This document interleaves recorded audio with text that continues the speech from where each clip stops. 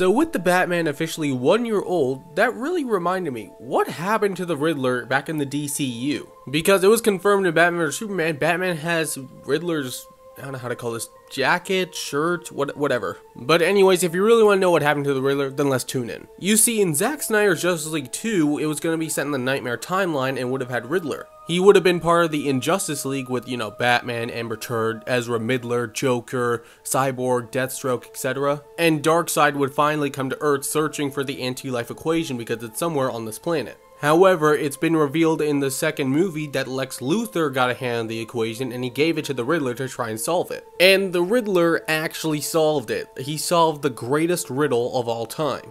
But that also meant that he now serves no purpose in life because he solved the greatest riddle, so he offed himself in front of Batman. In all honesty, instead of Lex Luthor, I think Jesse Eisenberg would have been a way better Riddler.